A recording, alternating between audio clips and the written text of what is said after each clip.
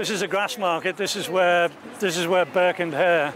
Um, you know, the, as you can see, there's lots of old pubs along here, still going strong, and they were going strong then in the days of Burke and Hare as well.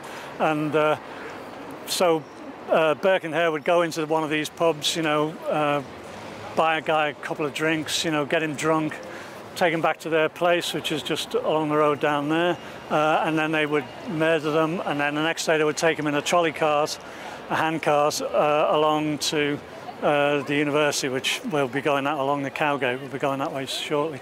Um, but uh, by the way, Burke, there was um, Burke gave his name to a word, a new word in the English language called Burking, which is referring to the way he murdered people. And he must have been very, very strong. Well, he was a navvy, you know, digging uh, canals and things.